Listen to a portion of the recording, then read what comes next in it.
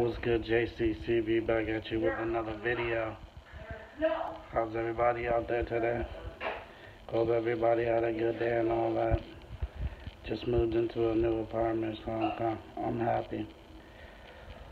So this video is on uh, Young Dolph's killers getting caught in Indiana. StraightDrop and another man were apprehended in Indiana. I believe this was yesterday, but I didn't get the information till it wasn't that long ago when I got the information.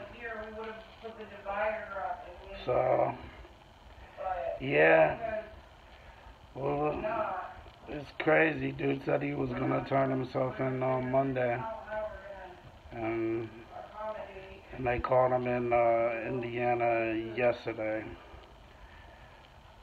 So, For now. I don't even know, man. Justice for Dolph, though. Definitely RP Flipper. And I'm going to hit y'all with more information as I get it on this subject.